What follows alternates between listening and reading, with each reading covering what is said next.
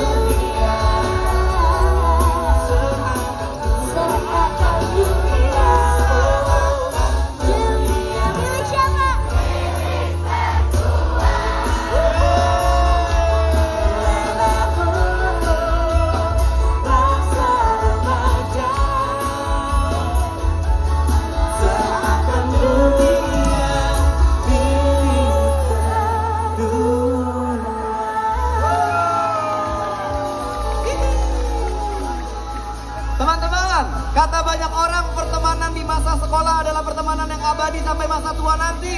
Amin. Jadi semoga kalian semua tetap keep contact dan